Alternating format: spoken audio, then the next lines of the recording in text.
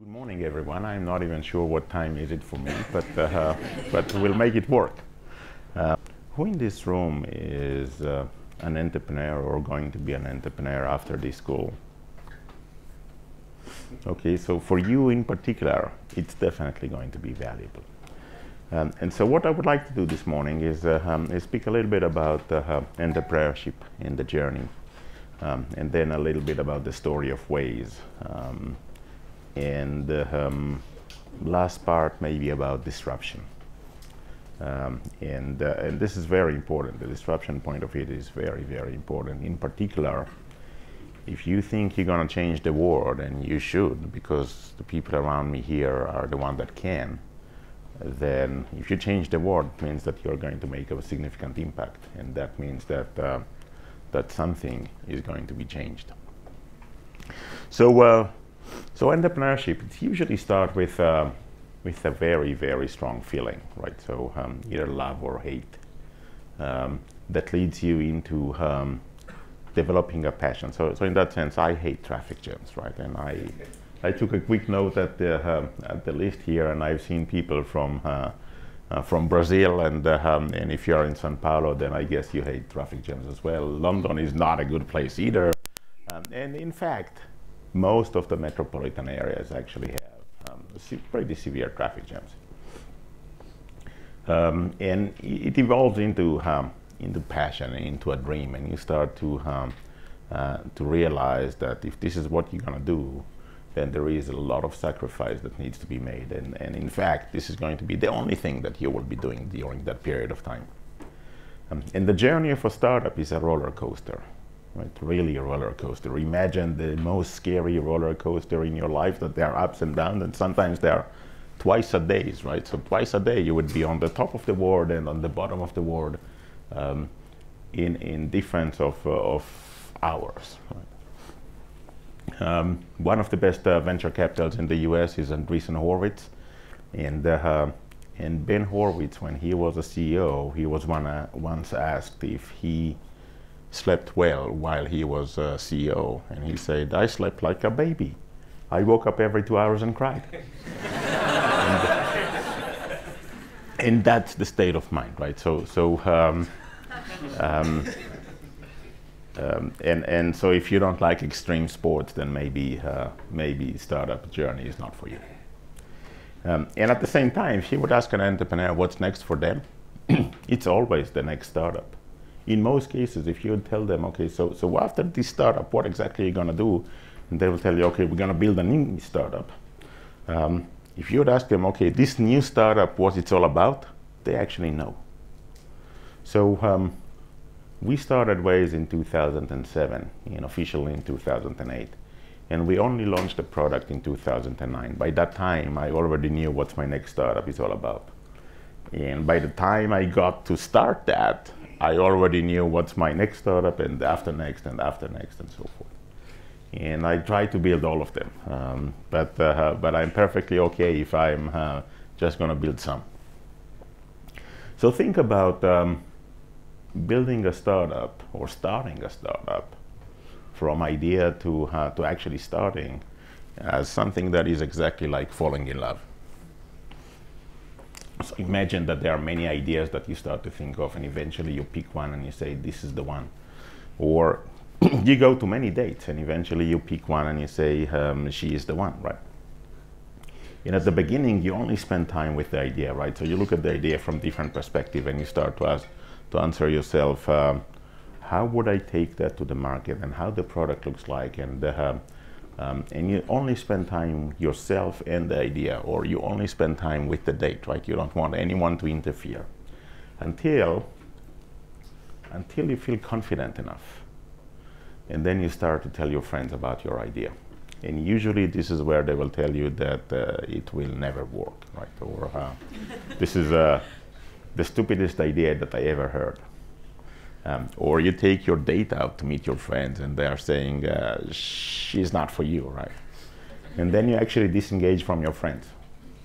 And it's good that this is the case, right? So, because if you are not in love with the idea, then, um, then most likely you will not go through the, the hardship of the journey. And, uh, um, and I would say, um, you know, um, sometimes people ask me what do I think about their idea, and sometimes I think it's great, and sometimes I think it it sucks, and I will tell them right.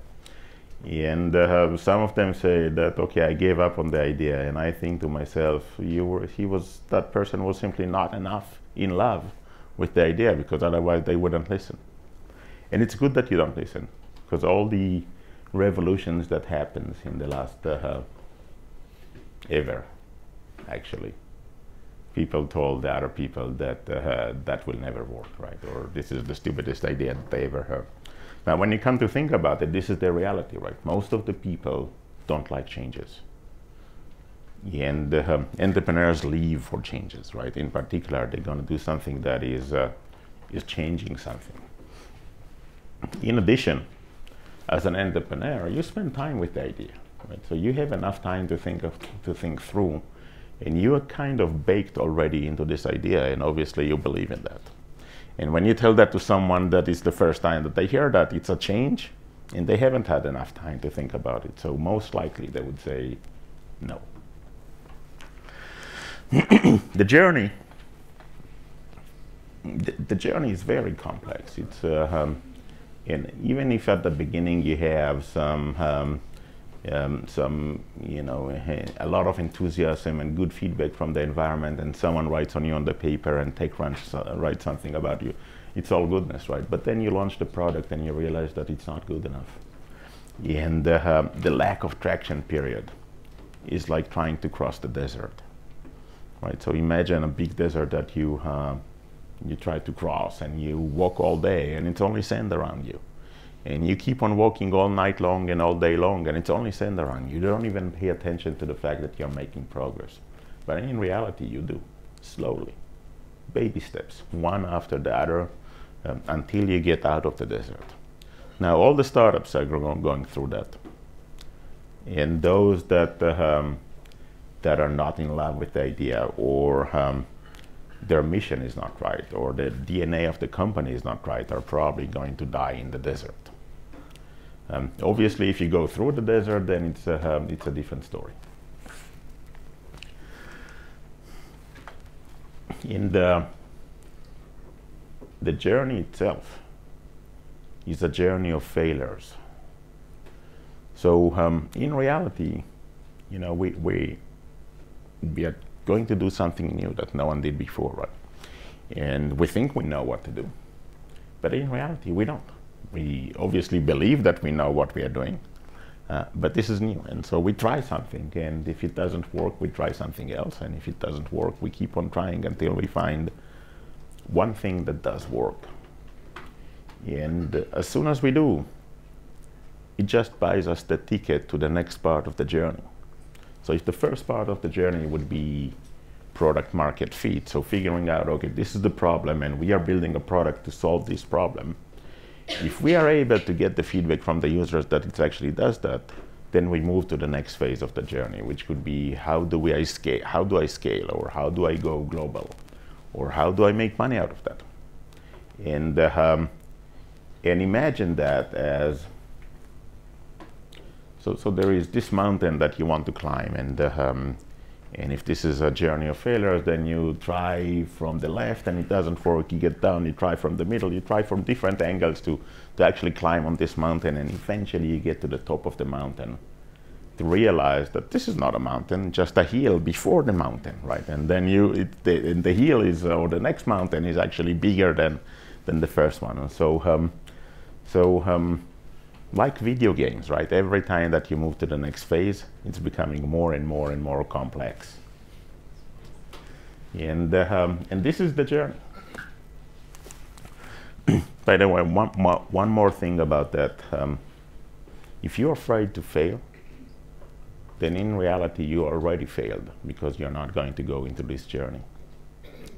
And uh, um, I can um, I can quote uh, Michael Jordan on that that uh, that says that he can accept failure but not accept not trying. Or um, anyone from Canada here? Okay, so uh, Wayne Gretzky, maybe the uh, the best hockey player ever um, ever been uh, that says that he is missing 100% of the shots that he doesn't take. And, um, and that's the reality, right? If, we, if we're afraid to fail and not taking this path because we're afraid to fail, then in reality we already failed. Some of the things that we're going to do in the first year are actually the most dramatic for the future of the um, um, of the startup, and and the most critical one is actually the DNA of the company we are building. So when we started Waze, we told ourselves that this is going to be the best working place we ever had. And in reality, when you start, you don't think about it. You tend to think about um, the mission and the problem and the go-to-market and, and different things, but not necessarily on the fact that you're starting a new working place. And it's up to you to determine what kind of working place it's going to be. And, uh, and if you stop for a second and you define that, and it doesn't matter if this is a new startup or a new department or a new project team, it's your opportunity to decide what's the DNA of this place. What are the values that we stand for? What kind of people we would like to bring on board? Um, how we are going to work together. Because at the end of the day, this is what's going to determine whether or not you like the everyday work or not. And if the team is right and the DNA is right, then every day is, is a day that you like. And if it's not, every day is a day that you hate. a lot of people ask myself, ask me whether or not I think that their idea is good or not good, and uh, and usually I will send them back with uh, um, with two major things, right? So one of them will be, okay, so what's the problem you're going to solve and who actually have this problem? Just to realize that we are solving real problem and creating real value. And then the other part will be how the market will change if you are successful. Now, if you don't know to answer that, it's not big enough. Where is the impact? How the world is going to become a better place if there is no impact? And if they don't know to, to answer that, then maybe it's not big enough. Maybe they don't think through. Um, um, and um, and a lot of people are actually going back and saying, okay, this is not going to make an impact. Now, I'm not saying that this is not a good business. It could be excellent business. But if you're not going to make an impact, then um, then who will?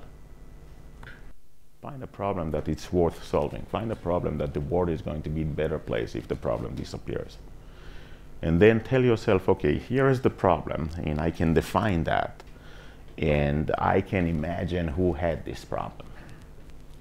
And go to all those people that you imagine that they actually have this problem and ask them if they have this problem. And in particular, what you really want is their perception of the problem. And only then you can go ahead and build a solution. Now, if you do that this way, you will find out that uh, um, that you're actually solving a problem that it's worth solving. And um,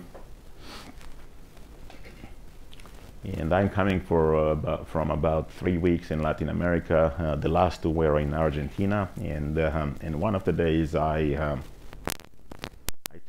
there, and um, they essentially ripped me off. Um, in particular, because the day before I took the same route and it was uh, less than half the price. Um, and I started to ask myself, okay, so obviously this is, uh, um, I'm not the first person on the world that it's actually happened to them. Um, and, uh, um, and I posed a question on Facebook whether or not people care and whether or not they would use something to provide them with a solution because it's really easy to build a solution for that. And out of um, 72 people only two or three say that they would actually use a solution for that. Everyone else would say, um, no, I would use the meter, no, I would use Uber, um, it's not a real issue, I don't even notice when they're ripping me off.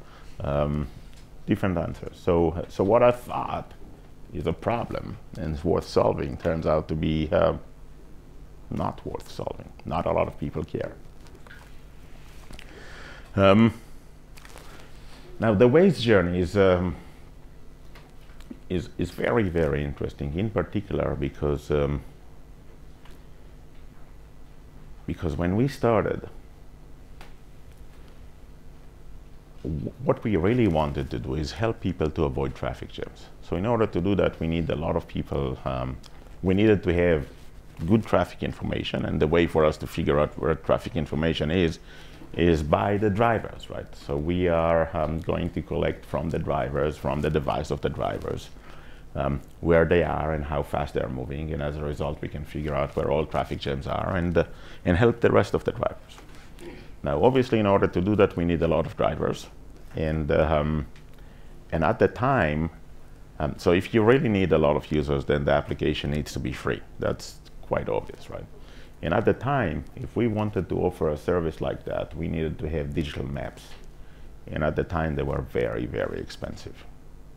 And so a business model where you buy something that is very, very expensive and give it away for free, um, it's not a good business model. And so we figure out that we need to own our own maps. And um, the magic of Waze is that it actually builds its own maps.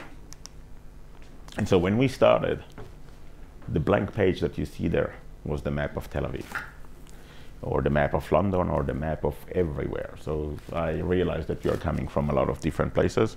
Each one of you, when we started, it was a blank page. And the first driver that drove, we collected the GPS data from the device, and if we will take this data and draw that on the blank page, it would look like that. And if we will start to take that from a lot of drivers, we are starting to get something that looks like a map. Right? If I will tell you that this is a, a traffic circle in the middle, then it is a traffic circle in the middle. We can even see that, right? And we can tell the difference between uh, um, main road and street. And we, if there is an intersection that no one is making right turn, then no right turn is allowed, right? And uh, and if there is a road that there are 100 people going into one direction and no one else coming the other direction, that will be one-way street. And if there is a road that there are 100 people going into one direction and only two coming the other way around, that will be one way street in Tel Aviv. and um, anyone with a computer science background here? Okay, so if I can describe that, we can build the software to build it. And this is exactly what we did. We build the software that takes all this data and creates the map out of that. Now the map obviously is not complete at the beginning and it takes more long period, uh, period of time for the map to become complete. Then we enabled map editing tools to allow people to provide us with uh, street names and house numbers and points of interest and so forth. Now at this phase, if we will have someone that driving slow, then we can figure out that there is a traffic jam there. And if we have a lot of those, then we can figure out where all the traffic jams are and we can start people, we can start to route people to avoid them. And this is really the magic of Waze. This is how it works. Now, in addition, people can report on um, where speed traps are, which is very, very important. So I didn't have any speeding tickets since 2009. Um, and where, um, you know, what really happens on the road if there are accidents and stuff like that. Now, what we are seeing in this video is how the map was actually created in, um, in a few places in Eastern Europe. And, um, and you can see the date, beginning of 2010. Uh, this is where we launched the service, and it took about uh, six months for the map to become good enough. Now, this is significant, right? So, uh, Waze is free and good enough. Free and good enough wins the market. This is very, very important thing to remember. Free and good enough wins the market. Now, in reality, um, so what we're seeing here is still uh, uh, Bratislava. Um, um, the magic is that this is created like out of nowhere, right?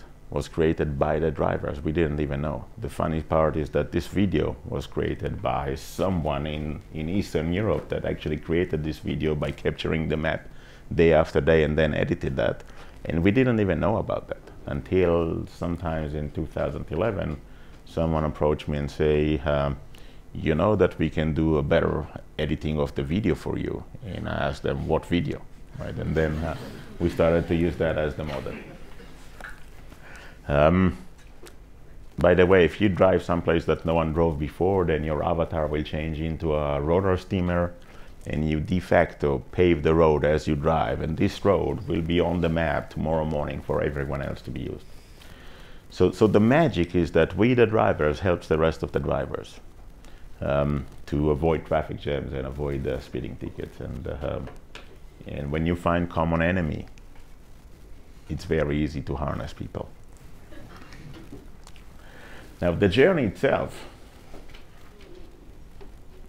So maybe one more word about that. Um, the first version of Waze was running on a PDA. Remember PDA? long, long, long time ago, there were dinosaurs, and then PDAs, and then Nokia phones, and today we are here with uh, with uh, iPhones and Android. Now, this is not that long time ago, right? So the first version was in 2008. The next version was running on was a real-time version running on a Nokia phone. This is 2009, less than a decade ago. So is that means that if we will do fast forward 10 years into the future, then we wouldn't have iPhones and Androids? Probably right. If I would be here in 10 years and we will do a gathering, all of us together, and I will need to remind you that remember that 10 years ago we had iPhones and stuff like that? Very likely. In fact, if you think of the uh, top 10 technology companies in the world, five of them will disappear from the top 10 in the next decade. Actually, some of them will go bankrupt. Now, the only problem is that we don't know which one, right? Otherwise, we will sell short. Um, and they will be replaced by startup that just started recently. Now, if you don't believe me, then um, ask yourself, okay, when do you have Facebook account? Raise your hand for a second.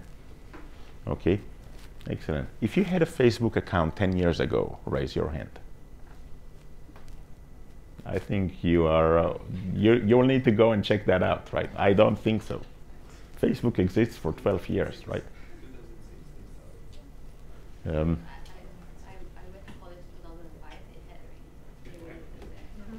okay, if you used Google 20 years ago, raise your hand. If you actually bought something on Amazon 20 years ago, raise your hand. Um, that's, and it's not because you're young. It's because they're young. Amazon is 20 years old, right? Google is 20 years old. This is it. Um, if you had an Apple device more than a decade ago, raise your hand. Very few. Right.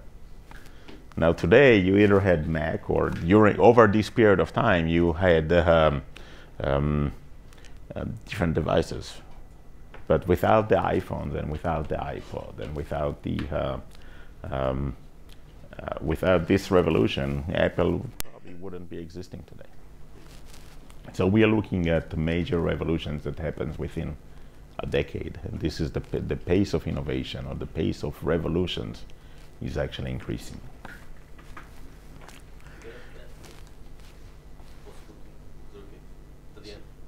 Sorry? Can I ask a question or shall we Sure, yeah, go ahead. Oh. Because it's the So basically, you had GPS data, and from that you got the product. So the, the key was to getting the GPS data from the drivers. Without the GPS technology, you would not been able to create what you have done, right? That's right. So um, the magic of Waze is that um, everyone contributes their data, and the important data is where they are and how fast they are going. And so when you are using Waze, every other driver is enjoying the fact that we know where you are and how fast you are going. We don't know who you are, but you know that there is someone using Waze and driving at this particular speed that can help us to figure out where the roads are and where traffic jams are. So um, so it's actually started by the CTO of Waze, Ehud Shabtai, in 2006, and he built the first version on a PDA that the approach was to um, actually create a map. So the same device, the same app is creating the map as you drive. And tomorrow morning, and actually this is a device that you needed to sync up, right? So connect the PDA to the computer and, and go to the internet through the computer and sync that up. Um, um, upload all the information and download the new version of the map, and uh, and so you can use that. Um, and we had uh, maybe a couple of hundreds of users in 2006, and then in 2007. Um, we met, um, Ehud, Amir, and myself, though the, the, three founders, and we decided that uh, the concept is interesting and it's going to be in particular interesting if we're going to take that into a smartphone and figure out where, uh, in real time, where traffic jams are and help people to avoid traffic jams. And so in 2007, we decided that we're going to build Waze. Um, and we uh, spent some time amongst us in order to uh, fall in love with that. Uh, and when we were in love, we were um, pretty sure that now we can go ahead and raise capital because we, we thought that the idea is, is really novel, right? And so we went to venture capitals in Israel, and there are a lot of venture capitals in Israel, and, uh, um, and they say no. You go to the first one and you tell them the story, and they say no. And then the next one says no, and no, and no, and a lot of times. Um, and over time, you get better in telling the story, and you um, show just a little bit more traction, and uh, um, and you know how to answer the uh, question better and uh, um, and eventually only in 2008 we were able to raise capital. Now part of the deal was um, that we had um, multiple um, meetings with one of the venture capitals, and they scheduled a meeting with all the partners. And before we went there, we made sure that we figure out where the uh, home addresses of all the partners, and we made sure that all their houses are on the map. And, uh, um, and in order to add more, then we made sure that there are other, in the same street, there are other houses on the map so it doesn't look awkward, right? And, uh, and um, sure enough, during the presentation, the managing the partner asked me, so, so is that possible that my house will be on the map? And I said, look, I don't know where you live, so, uh, so tell me the address and we'll see, right? And, uh, um, and obviously, um, everyone was looking at the map, and I was looking at his eyes, and then I figure out that he is going to invest.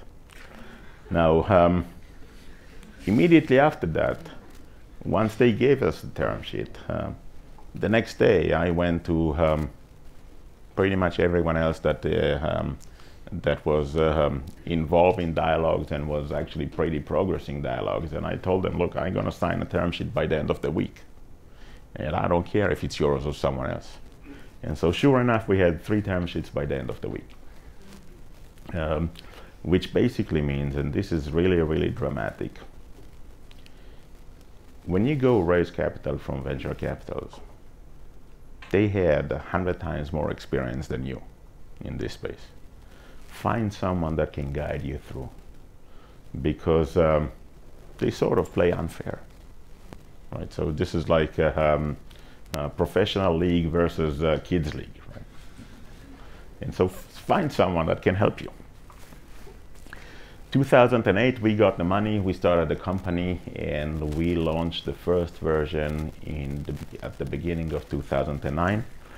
And that was only in Israel. In a lot of excitement, and actually, Israel is a very, very small place. Um, you know, when, when you um, consider Israel in terms of area, this is about 20,000 square kilometers, right? So size of uh, Massachusetts, right? Really tiny. Now, most of the population is actually in about one third of the area. The rest is pretty much a desert, right? So, uh, so very dense area, very, very high tech, very, very connected. Um, and the result was that it was relatively easy to create a map in a small space. Right? Um, and so it was working beautifully in Israel, and we decided that um, okay, if it's if the model works, we can go and take that everywhere, and so we did. And in reality, it was actually working nicely in a few places in Eastern Europe, so in Latvia and the uh, Czech Republic and Slovakia and uh, um, in a few places in Latin America, in Ecuador, because we had a partner there, and then in Colombia, and um, in particular in, in Bogota and and, but it was not good enough in London. It was not good enough in the US. It was not good enough anywhere that is actually a significant place.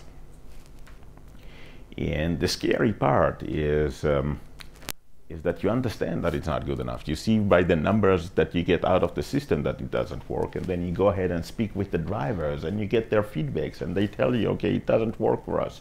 We like the story that we, the drivers, are going to harness all of our combined knowledge together and to help the rest of the drivers to avoid traffic jams. Um, but, uh, but it doesn't work. And so we go back into the drawing board and we um, take all this feedback and we correct that. We fix, we build the next version that fixes everything that we know. And we release that and we know that this is it. And it's not. Sorry, can I just ask, what, what, would, what did you, what would, what would you have considered not working at that time? So not working is always the same. Are people coming back or not? Right. At the end of the day, it's the retention or the attrition, right? And so h- you had some markets which worked after a time, but presumably at the beginning they also didn't work. So would you, and then they started to work. Not everything works straight away, right? Right. Right. So when you had a, a market that reached a point, like a tipping point to start to work, is, is would that would that be within a certain time frame? And the ones that didn't work, they went past that time frame, so they accumulated too many frustrated users, or what was the difference between a market that began to work and a market that didn't? So, so there, there are a few factors into that. Number one is, uh, um, is smaller markets tends to work better. So larger market, the um, distribution of the population turns out to be a little bit more complex. Um, and so this is one factor. The other factor that turns out to be dramatic is um, um, the availability of alternative solutions, right? So, um, so if, uh, if you're looking at Eastern Europe or Latin America, there was no other GPS solutions there. There was not even a digital map of the country, right? So, so the not good enough in other places was actually good enough in some places. Um, by the way, if you choose your go-to-market strategy and you want to become, to go global, so the first country to start is your own is your own country, right? It's much easier. You're going to learn faster. Um, you understand a lot of things. You can collect feedback faster. You will learn faster there. The next country is pick a significant country that it's easy to win. So maybe because user acquisition is going to be inexpensive, maybe because there is no competition and therefore you're going to be successful there, um, but not go directly into the largest market. Largest market are usually the hardest to win. And user acquisition might be expensive and you think you're to have PR and it will work. It doesn't. PR in, in, in Israel works like magic, right? So, uh, so it's a small place um, and it's not expensive. PR in London is very expensive. PR in New York is even more expensive and has close to zero impact. And so figure out where, where is the geography that it's easy to win. So, uh, um, so we are going back into um, product evolutions, right? And so we, we we build the next version, it doesn't work, and we do the same thing again. We collect feedbacks from the users, we collect feedbacks from the system, we understand what doesn't work, and we go and build the next version to fix that. And um, and it's not. And, ye- and the, throughout the entire year, we had multiple iterations of trying to solve that and solve that, and each time that we did, we made insignificant improvement. But throughout the year, all those insignificant improvements turned out to become significant. And, um, and perhaps it was also the maturity of, or the accumulations of the, of the map that was built over time. Um, and only at the beginning of 2011, we started to see places that um, um, it's actually um, um, getting together and we are reaching critical mass. And, um, and if we're looking at the US, that was Los Angeles first, and then have San Francisco and Atlanta and Washington D.C. and New York and Chicago and one metropolitan after the other. In Europe, that was Italy first, and then Netherlands and France and Spain and Sweden and one country after the other. Um, and um, so that was in 2011, and we figure out that we yes.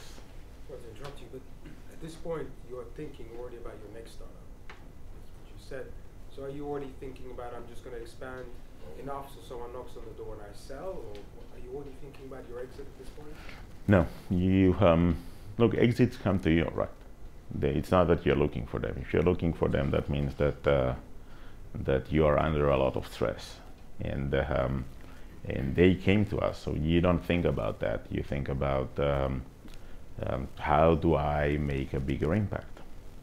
And at the end of the day, you also accept the, the opportunity to sell the company when you have an opportunity to make a bigger impact. And so 2011, uh, we're starting to reach critical mass in multiple places. Um, when we started the year, we had a little bit over a million users. When we finished the year, we had 10 million users. At the beginning of the year, we said we're going to reach 10 million users. We didn't know where they're going to come from. Um, but in a lot of places, they simply, um, you know, as soon as you reach critical mass, then you see significant growth. And then in 2012, Waze was actually growing faster than the entire industry together. So you take all the, the, the navigation devices and navigation apps and in-car navigation systems, Waze was growing faster than all of them together. And then in 2013, Google came out with uh, the proposal to approach us, and we simply said yes. Out with a one-page term sheet and um, everything that was important for us was there.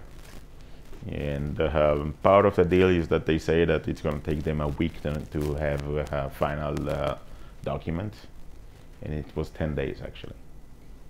So when someone wants to move fast, they can. Um, and I left the day after I left in order to build my next startups. Um, so just to, to complete the, the, the, question that was here before, um, I was running the company at the first year, and then I brought a CEO to run the company, Noam Bardin, who is still running the company. And uh, um, and I was doing business development, I was doing new country strategy, I was doing different things in the company, but I was not mandatory uh, to um, to stay after the acquisition. This is why I was able to leave. Yes. From the story you tell, it seems that you invested mainly in the product. And you didn't hear the story about the business, whether you did something actively on the business side uh, to grow the, pro like, to grow the market. So, um, is it true? Like, is it just so, so you are right. Um, in consumer services, the product is the main thing.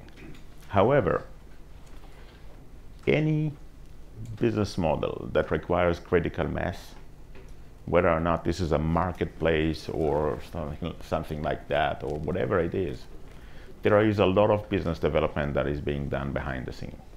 So everyone cheats, right? You find a way, if you're building a marketplace, you find a way to have indefinite amount of inventory and a way to control that so you can actually have people coming and buying, and there is always enough enough stuff on the on the on on the shelves, right? In this model, we have used uh, we have established a lot of partnerships with uh, fleet management companies in order to collect their GPS. And actually, even though that the map was not good enough on day one, the traffic was actually good enough on day one. And um, uh, and uh, and in addition, you do a lot of things uh, throughout the product. Um, um, that uh, that help people to um, to um, use that more often, like gamification, like uh, telling people that they're not alone. Right? You start Waze today tells you that there are so and so many other Waze users around you. It doesn't tell you how far is around you, right? So when we started, around you was um, the entire continent, right? So, so you would get, you are in San Francisco and you would get a report of an accident in St. Louis, right? Um, and then we figure out that maybe it's not a good thing to do, so people complain about that. Um, but you use business development in order to accelerate. So, so imagine a virtuous cycle, right? So you have the users on one hand, and the more users that you have, you create better data, right? The more data that you have, it's easier to bring more users or for more users to stay. And so you need to inject any of those in order into the system in order to accelerate the growth. And, and it's always easier to inject data in that sense.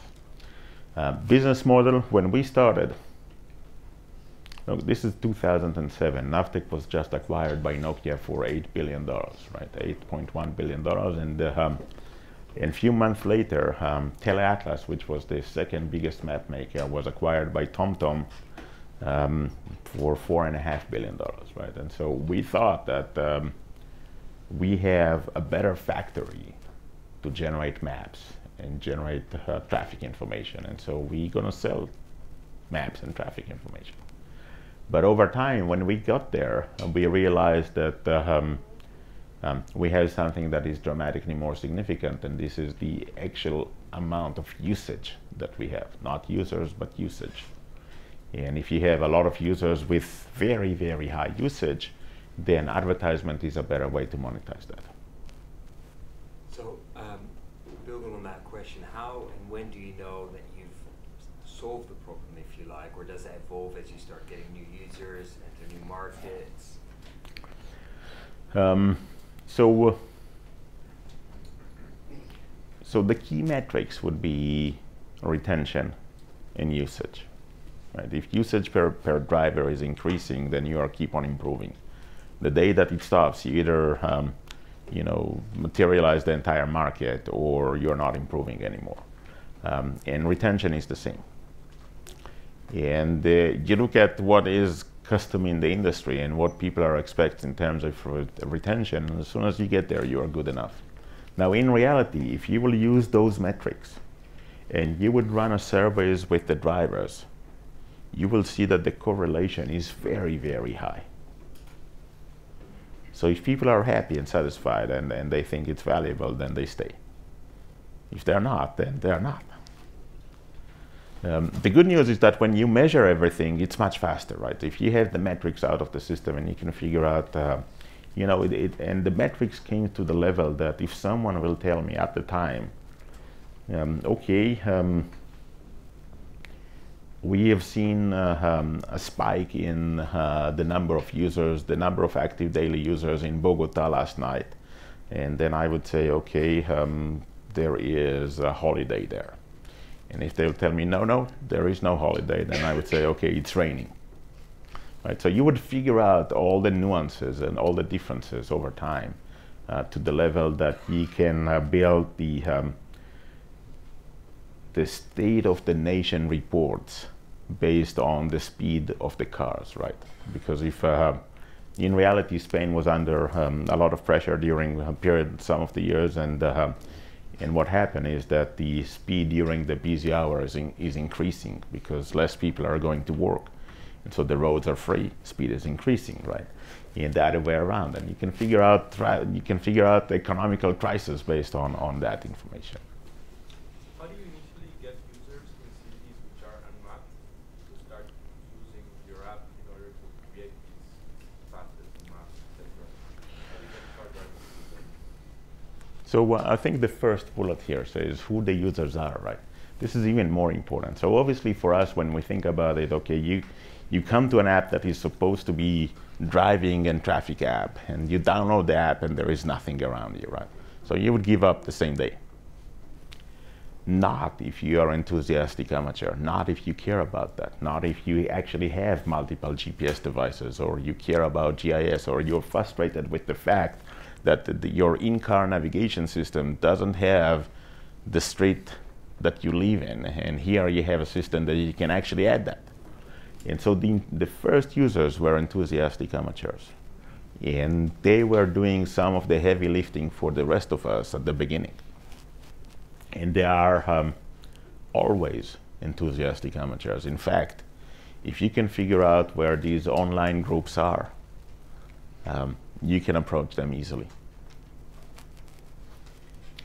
Just follow up detail about the um, fleet management companies that you bought the GPS data from, which is a super smart cheat.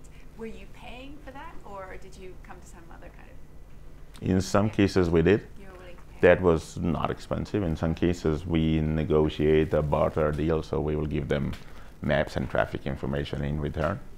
Um, Did you replicate that across every market? Across multiple markets. But also in some cases, um, look, in, in some countries, there were local map makers that we negotiate similar deals, right? So we basically told them, give me your map and I'll give you map updates. And if they, um, And obviously, at the beginning, it doesn't sound right. But then I told them, look, there are only two ways to look at it, right? If I'm right and my model works, you will die. If I'm wrong, then it doesn't matter. Yes. Evolution is twofold. For the initial map, why not use the already open database like OpenStreetMap for the initial map? So um, OpenStreetMap was um, not good at the time. It's improving. In its particular, it's not good for uh, for navigation. So when you look at map, um, then there is the display, which is one part of it. There are the different layers of of, uh, of the maps. There is searchability, and there is navig- navigability. So whether or not you know which directions the roads are, are capable in, and they were not good at this, and so we decided not to use that. Okay, and my second question is uh, GPS accuracy is really like 40 meters uh, in the countryside. How from the 40 meters accuracy you pinpoint uh, roads? So uh, moving average, and in reality, even though that you have um, the, a single GPS point is not necessarily accurate. If you start to collect a lot of those, then that turns out to be very accurate to the to the level of uh, um, of when you compare that with satellite image, you are um, on the on the millimeter. Yes. Can, can we um, take one more question, but then we ought to carry on to allow you to get to the end of time. I may have missed a point, but are you completely out of Waze now? I am completely out of Waze uh, more than three and a half years now. So the rating of Waze for London now, I mean, Waze is part of Google. Um, Waze is Waze and Google is Google, right? So the Google is the owner, the owner of Waze, but uh, as an app, there are two different apps. Okay. Can we just leave, leave it there? So, um, so some of the critical tips that I have to share with you. Um, so, who the users are and what's their perception of the problem. We we mentioned that this is. I cannot stress how important it is. Um, otherwise, you might be building something that uh, that you are the only users in the world for that, or you might end up with a solution that is looking for a problem. Understand who the users are and what's their perception of the problem and uh, and always do that at the beginning before you even start to build the product. The second one is about making mistakes fast. In reality, we only learn when we try. Otherwise, we don't. So for me, if people will tell me I'm building this product and I'm going to launch that in uh, in a few months or whatever, then I say no, no, you're wrong. You're not building the product. Product development starts after you launch.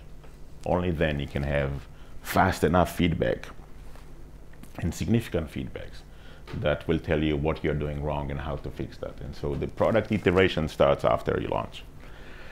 Now, in reality, um, the biggest enemy of good enough is perfect. If you try to build something that is perfect, you're going to lose the market to someone that is going to be good enough. Now, if you don't believe me, then think about uh, the first version of iPhone. Even making calls, it was unable to do, right? So it, it really sucked. Um, and this is with hardware, right? In particular, if this is software only, then, then there is no big deal. I would say launch today, right? And, uh, and so people will tell me, okay, but people, that users are going to be frustrated. You don't even have users. Who is going to be frustrated? um, and uh, um, it's insignificant numbers, right? And if it's that bad, then change the name and relaunch. right? The name is not important, by the way. The story of the name Waze is that uh, um, at the beginning we called the company Linqmap, and we we wanted a better name, and so we were looking for a name, and the Waze that spells correctly W-A-Y-S, uh, the URL cost half a million dollars, and we didn't have that. Uh, but this one cost twelve thousand dollars that we did have, and so this is how we ended up with the name. The only important part of the name is that uh, you're really looking for a name that is easy to pronounce, and uh, um, um, and uh, and this is it, right? And uh, um, if you can find a name that people can use as a verb later, then this is excellent, but it's not mandatory. Easy to pronounce, easy to spell. This is it. Um, one more story about uh, making mistakes fast. So there, this story is about uh, two guys that are going into a safari in Africa, and uh, and safari is very interesting, but it's not really challenging. There is no dangers there, and so they decided that they're going to do something more extreme and spend the night out on a tent outside of the camp. And sure enough, during the middle of the night, there is a roar of a lion, and they, they woke up, and that was pretty scary moment for them. And one guy say, "What are we going to do? What shall we do?" And the other guy say, "Let's let's run back to the camp."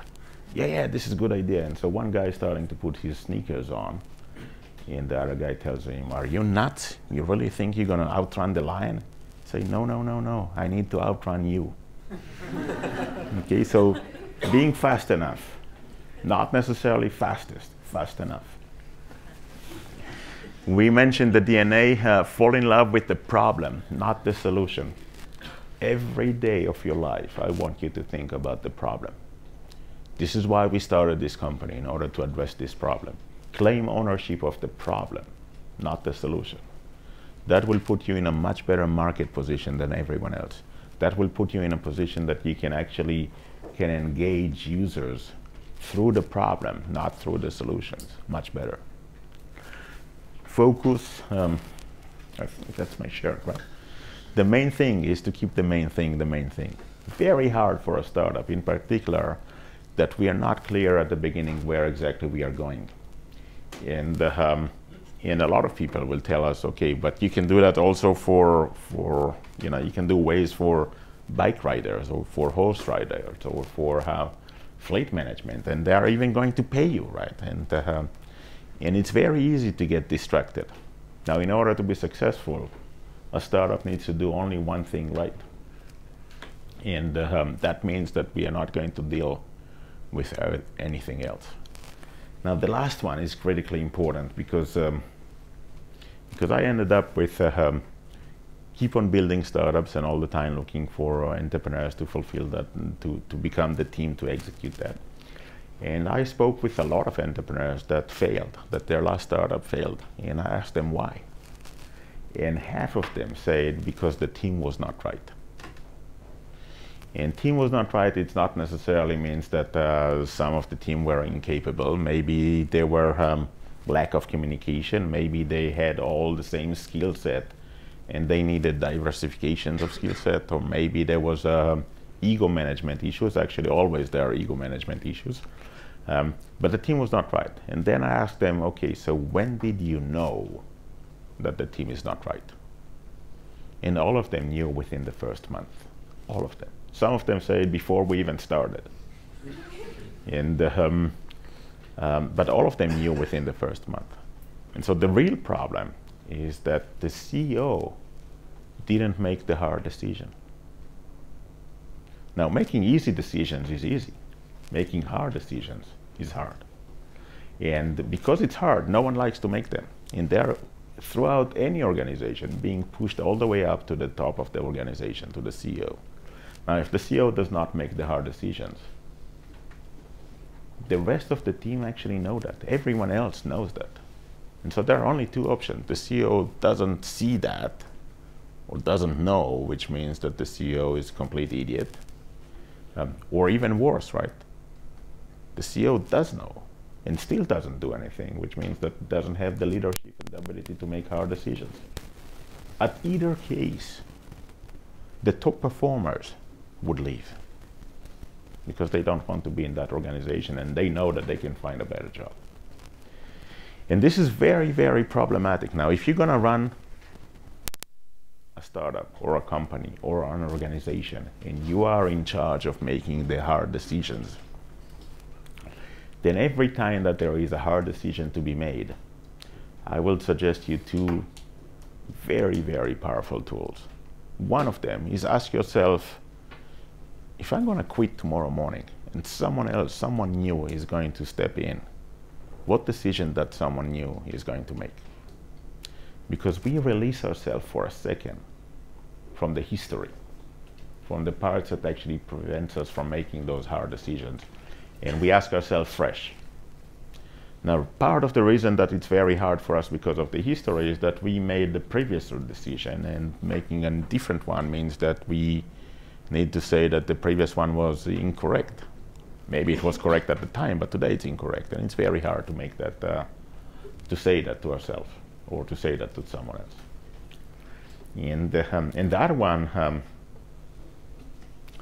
so, so when I was a, uh, a teenager, um, I had to make a decision and to choose between two things. And then I went to my dad to ask for his point of view, and he said, "You know what? I'm gonna I'm gonna take a coin out of my pocket and gonna flip the coin, and before the coin drops, make the decision." So use all of your knowledge, what we call guts feeling, which is really everything that we know, to make that decision. In most cases, we actually know what we want, but it's very hard for us to to say it out loud or to say it uh, um, out loud. And so, um, when you force the decision, the decision is probably right. Um, okay, so um, so fundraising. Um,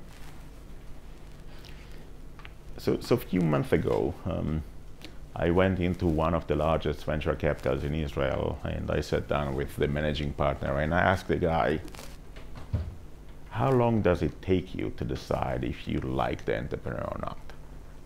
And so he asked me, "Okay, do you want the real answer or do you want the right answer?" And I said, "I want the real answer for a change." and so the guy is, is looking at me and then looking at the door and looking at me again. And then he said, before they sit down. First impression. Right? There are some researchers that speaks about 40 milliseconds. But it's definitely a matter of seconds, right? It's the same if we are interviewing a candidate or going on a date or an investor is meeting us. Second, And we only have few minutes to actually either let it sink or change that. Now, in reality, in today's world, in some cases, it's even negative time, right? So the first impression is even established before we meet.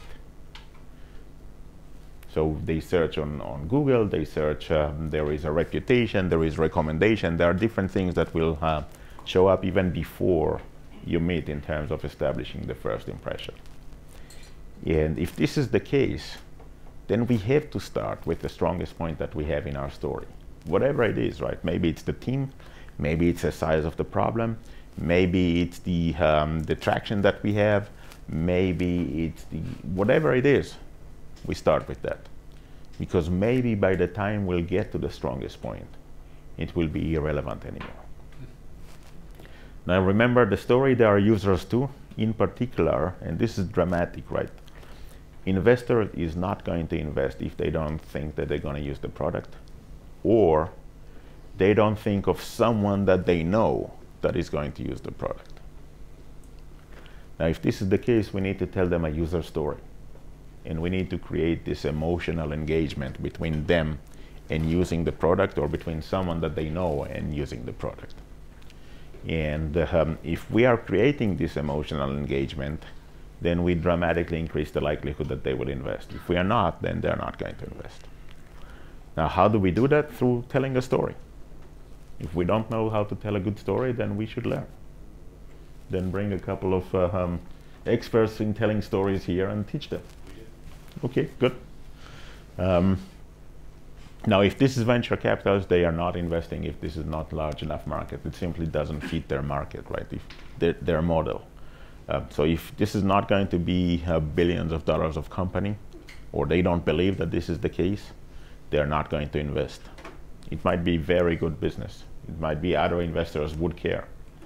But for them, in their model, they need something that is going to grow fast and grow um, to a significant order of magnitude so they can actually pay for the rest of the failures of the, of the, of the rest of the startups that, uh, that they invested at and you ended up with the strongest point at the end. Now I can give you examples. What does it mean to start with the strongest point? There is always this welcome slide, right, or introduction to whatever, right, or and uh, put the statement there. This slide is going to be there for minutes before you even start speaking. Put it there, and the same at the end. Um, so disruption, and this is a this is dramatic because in a lot of cases we're thinking of disruptive technology. disruption is not about technology, it's about changing the way we are doing business. It's about changing the way we behave. And this could be through um, new product that does not exist in the market. This could be new pricing model, right? So Waze was free. Very different than anything than anyone else at the time. Today, everyone free because you cannot you cannot charge money on something that, that there is something that is good enough and free. Um, maybe you change the business model. So something that people used to buy, you simply um, um, rent that out and you change the business model and as a result you disrupt the entire market. Or maybe you create a new set of information that was not available in the market beforehand and as a result you change the market equilibrium. So just imagine um, online travel agency, right? OTAs, whether or not this is Kayak or Travelocity or or Expedia or whatever.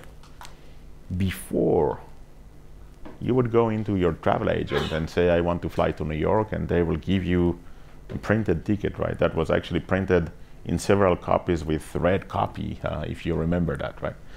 And you didn't even know what are the alternatives, right? Now, as soon as you introduce all the knowledge into the system, you change the demand.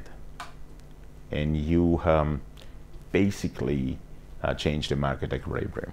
Now, the good news is that in most cases, market the new market equilibrium is going to be much bigger business than, than before.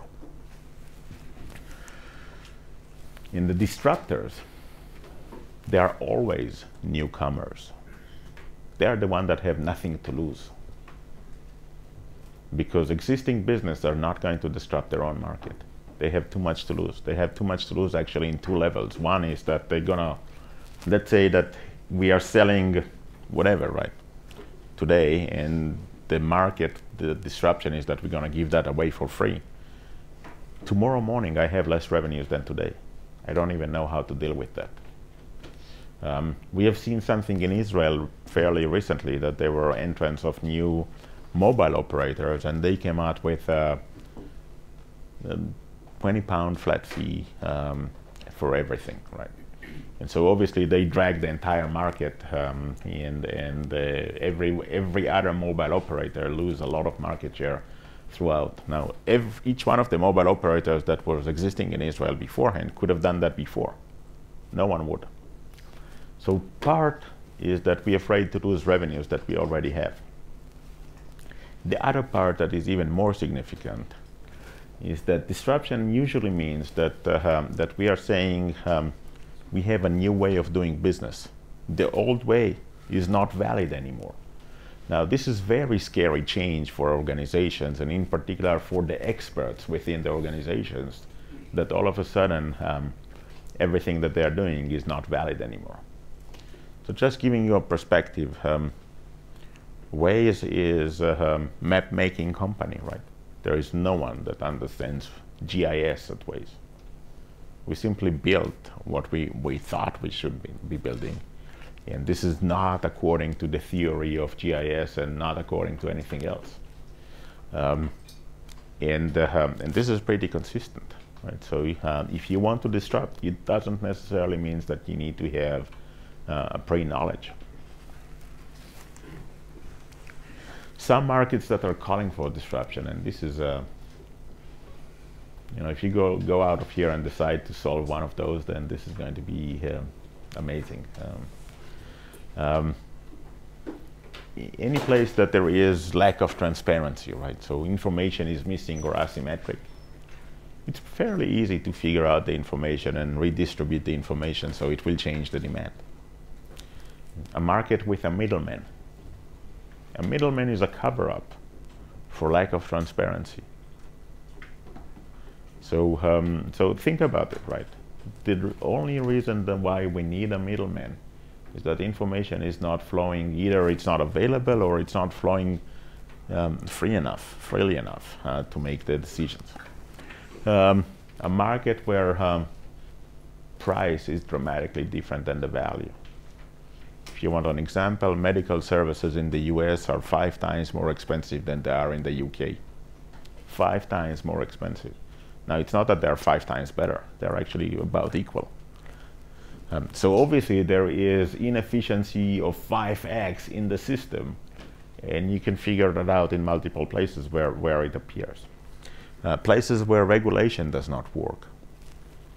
So I'll give you an example. If your flight is delayed by more than three hours according to the European regulations, two hours in different places, then you're actually entitled to get uh, um, um, um, monetary compensation for the delay. Only 2.5% actually claiming that. 2.5% of the people. So imagine 200 people in a plane, and this plane is delayed by five hours or whatever. Five people would be actually asking for that. So the regulation is in place, but no one is doing anything about it. Now, if you'll try, you'll see that it's actually fairly hard, right? So, so you'll get to, uh, you'll figure out, okay, I'm going to send them an email, right? No, there is no email. There is a form that need to fill up, and this is a long form, right? Very long form. and when you get to the done of it and you say submit, the link is broken. And you don't know that because you think, okay, maybe something went wrong. And so you go into this form again. It's a long form, very long form, right? And you hit submit again, and it's still broken. And so they will try to make it hard for people to claim, and they are successful in that. Um, VAT refund, right? If I would buy something here today and I'm traveling back to Israel, I can claim the VAT back. Actually, there is 30 billion euros of VAT in Europe every year that needs to be claimed, and it's not. Only 5% is being claimed. Um, so I'm giving you a little bit of indications of what my next startup is all about. um, now, in general, disruption is good. And the goodness of disruption is that if you think about it from a very abstractive point of view, here is the market equilibrium here is the new market equilibrium. If it wouldn't be better, the market wouldn't go there. And so in general, the new market equilibrium in most cases is actually at higher volume, lower prices. So take Uber, for example, right? And um, you look at the US market, the number of uh, on-demand trips increased fivefold since Uber started. And prices are much, much lower today. And so obviously there was a much bigger demand at a lower price. Um, and, uh, um, and as soon as you make that available, then it becomes significant. Now, the car industry is maybe the most in the interesting industry in the, in the next decade or so, in particular because uh, in the last hundred years, nothing has changed, right? So uh, the most sellable car in America 100 years ago was Ford, and it was black and it was doing about 16 miles per gallon. And last year it was Ford, and it was still black, and it was doing about 17 miles per, per gallon. it was Ford F-150 last year and Ford T 100 years ago. But really nothing has changed, right? So we're still sitting in the driver's seat, we still have a steering wheel, we still have pedals, and, uh, and we still drive the car. Now the autonomous vehicles are going to change everything. So just imagine for a second that um, that there, the technology is there and the technology is going to be there and, and I don't care if this is going to be next week or next year or five years down the road.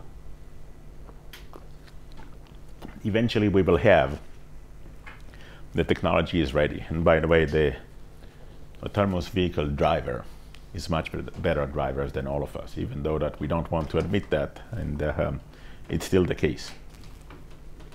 And they don't get tired and they don't uh, get distracted by looking into text messages or whatever. Um, they actually uh, very, very good drivers.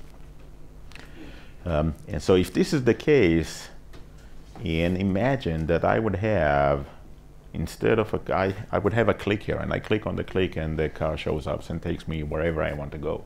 And then I click again and the car disappears and um, if this is the case, then maybe I don't need to own a car. Maybe I just need a clicker. And I can use the car anytime that I need. And I can use different, I, I would have different clicks on the clicker that I can have different cars anytime that I want. If this is the case, the demand is going to be changed, right? So instead of buying cars, we will be buying a service, maybe mileage, maybe time, maybe whatever, trips something else. Now, if you think of the car today, it is probably the most inefficient resource in the Western world that we have because we use that only 4% of the day. Now, actually, not even that, right? Because when we use that, it's only us in the car, right? So we are using one seat of the car, the driver's seat, for 4% of the day. The rest of the time, not only that we are not using that, it's actually occupying a parking place. So it's actually creating more damage than help. So if this is go what's going to happen, then the business model is going to change. Now, this is a major problem for you if you are a car maker, because you will be selling much less cars 10 years down the road, much less. There will be, and if you don't adapt fast enough to start selling service, you will die. Your organization is built to manufacture a million cars a year. If you would be selling 200,000, this is way too few for you to survive. claim that you don't actually solve the problem with the autonomous car. My problem is to get from point A to point B the quickest way. Wait, I'll, I'll. I'll get to a different, different perspective on that. So, uh, so one thing about uh, um, so, so the business model will be changed, but as a result, there will be a derivative disruptions in the market, right? So if you are driving school, then you have a problem. In fact, um, so, so I see here some people that actually probably do have kids, but uh, um, so I have five kids, right? And the youngest one is 15, and he is not driving. The rest of them are driving. Um, but I assume that uh, um, all of them will be driving. My grandkids will not drive. In fact, I will need to tell them a story that I used to drive a car and they will not believe me. Because when I was young, and one day I asked my dad to take me to school, to drive me to school, and he said, This is less than half a mile away, walk, right? Or take your bike or do whatever. And then I really asked him, and he said, You know, when I was on your age, I was actually riding a donkey to school. And I did not believe him. Um, and so um, this is the reality, right? Um, if you want, take a dial phone, right? Remember that we used to have a phone with a dial, and give it to your kids and see if they can figure out what to do with it.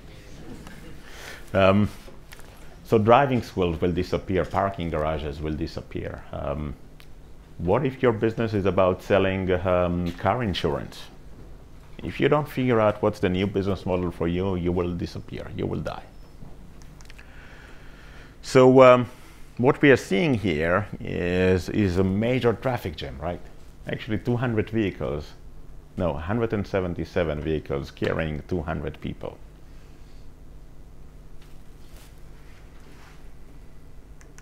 This is what we're seeing.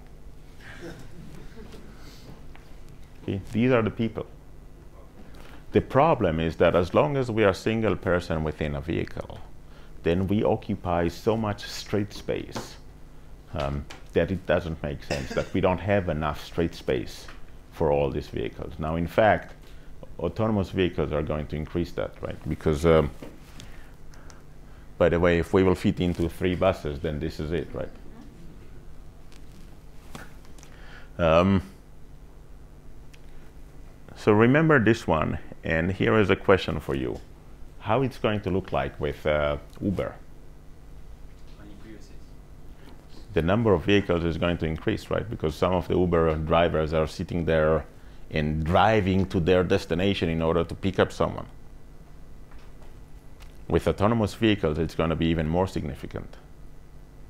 So Uber driver, because uh, because um, it's easier for them to park when they are not driving someone or they don't have a call, they would be parking someplace. Autonomous vehicle is not going to park. It's cheaper to keep on driving. So for those 200 people, or for those we might have ended up with 400 vehicles or 500 vehicles. So traffic jams are not going to be better, unless we start to use public transportation or we are starting to use uh, ride sharing or, or carpool um, or bicycle, right? So I, uh, I saw that you're riding your bike and that this is awesome.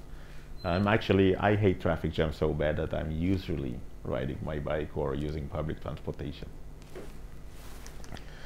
Um, Yeah, I'm gonna skip that. Um, another area that is pretty significant is uh, is if you don't know how much you're paying. If you don't know how much you're paying, then you're paying too much. And it doesn't matter if this is about financial fees or the mechanic or airfare um, or um, medical devices or legal or insurance. And the reason that there is a separation, um, some of them are started that I already started and some of them are not, not yet. And so a few words about myself and then we will have um, maybe more questions and discussions. Um, so, uh, so there is a, a, a, thinner version of me at the picture there.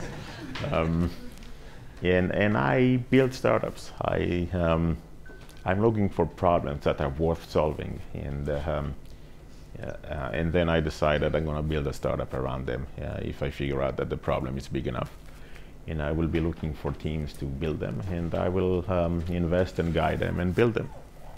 And so here are my startups, Waze we are all uh, familiar with. Uh, Moovit. Anyone here uses Moovit? So it's like Waze, but for public transportation. And actually, even more interesting uh, because public transportation solve traffic jams and, uh, and driving doesn't. Um, and, uh, um, and because it's growing faster than Waze at the time. In answering the same question, how do I get from here to wherever I want to go right now, but using public transportation? How do you manage uh, in cities where the public transportation is super unreliable, like one side is, let's say you have three buses that pass together, to be able to calculate uh, the exact times? The same way, crowdsource. So as soon as you have users, uh, so initially you start with uh, you know the basic uh, schedule, which obviously doesn't mean anything in in not even in London, right? So um, but uh, uh, but it's fairly accurate in London, um, and then you use if there are GPSs within the system. And by the way, in most of the operators in Buenos Aires, there is a GPS in the, all the buses. The information is not publicly available, uh, but um, but uh, Moovit actually do have that. Um, uh, and then you use crowdsource as the, the last version of providing you all the information that you need.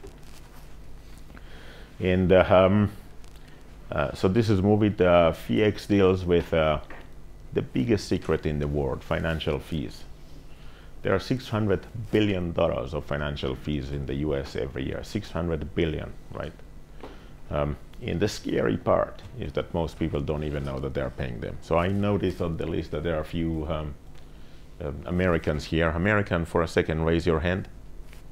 Okay. Do you have 401k plan? Do you know how much fees you're paying there?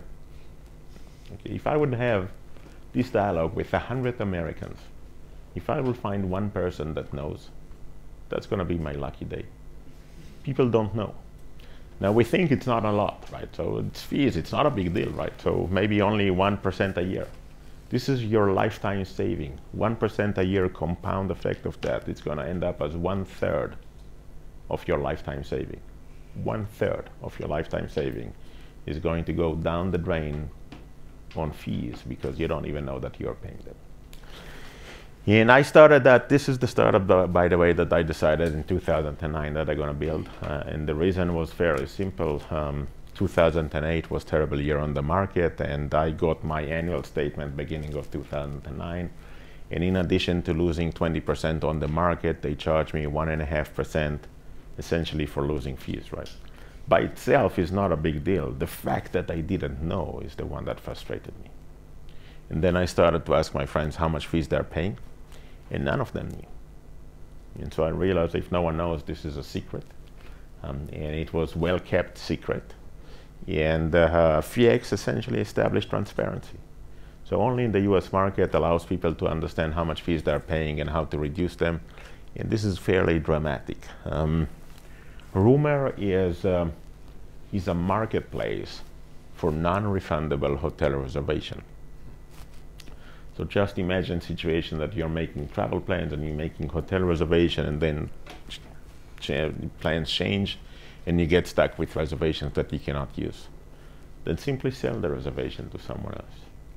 And in fact, hotels actually going to encourage you to do that because they're making 30% more of their revenues from incidentals, right? Food and beverages and internet and whatever.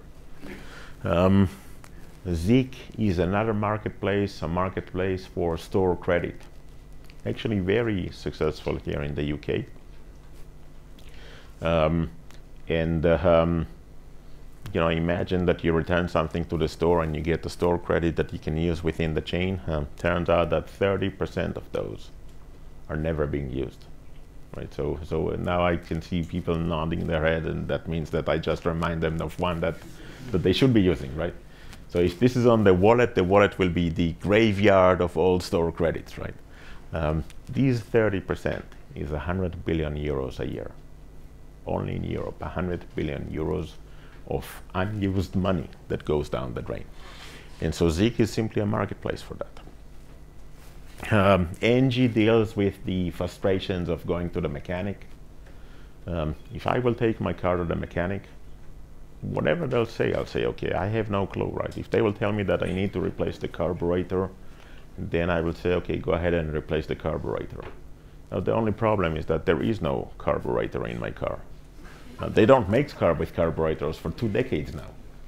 And, um, but I have no clue, right? And so it's an app running on the smartphones, connects to the car computer, doing the diagnostics for you, and then asking mechanics to quote to repair that. So all of a sudden empower the driver not only with the knowledge, but also with the ability to do price comparison.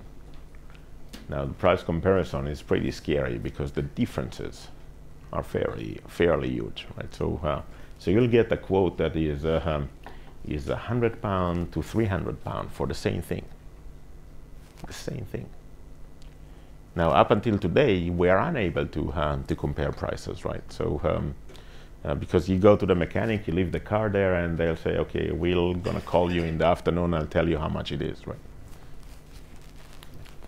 Fairfly deals with uh, um, the biggest secret uh, um, in the travel industry, and this is uh, what happened to airfare after we book our flight. Now, before we all comparing prices, but after that, no one does. In reality, beforehand, so so so airfare in general, um, in any market that had um, expiration period for that, so hotels, events, airlines, um, train tickets, and so forth, will build dynamic pricing that their pricing is actually based on the demand. Now, we as users, we don't know that. And so what Fairfly does monitor your own itinerary after you book your flight. And if the price drops below cancellation fees, then it basically tells you that right now you're leaving money on the table and you can actually rebook the same flight at a cheaper price. And it's quite a lot. I can see that. Um, spam off is dealing with SMS spam. It's actually the first one that I try to deal with uh, regulation that doesn't work. And I'm actually um, very proud of this startup because it's my son, who is uh, 23 years old, that started that. Um, and I'm proud not because whether or not they're going to be successful or not, because he decided to do something that is doing good and doing well. Um, and so at least something of the education that I try to put into the system uh, turns out to be successful. So, um, and there are more that I will be building um, in um, this year. Probably we'll try to deal with parking. Probably we'll deal with the VAT refunds for tourists in Europe. Um, maybe more. Um, I'll skip that. So maybe one more story, um, and then we'll have some more time for questions. so over the years of Waze, I had a lot of people coming to me and say, thank you for Waze, you helped me to avoid speeding tickets or traffic jams, or, or let me tell you a story about a nightmare traffic jam and so forth. But about a year ago, someone came to me and said, uh, thank you. And I said, you're welcome. You saved my marriage. And I said, what? He said, well, because of Waze, we don't need to argue anymore in the car, so you saved my marriage. uh, and so I turned out to be a marriage consultant as well. Uh, but I think I own the best story to my son. Um, I have, uh, so the 23 years old we mentioned, I also have 19 years old son. And he started to drive about uh, two years ago, and he really likes to drive. He would, you know, to go to his his neighbor, he would drive there, right? Um, and so one day I asked him to um, drive me to the airport, and he said, um, "My phone is broken. I can't." and I said, "What do you mean you can't? Here's the car. Here are the keys. Drive me to the airport." He said, "My phone is broken. I don't know how to get there." So I was scratching my head for a second and I said, You know what? I'm going to be in the car with you and I'll tell you how to get there. And then he said, And how would I come back? and so we lose orientation in the same way that we don't remember phone numbers anymore. Um, and, uh, but we don't lose the logic. Thank you. Questions?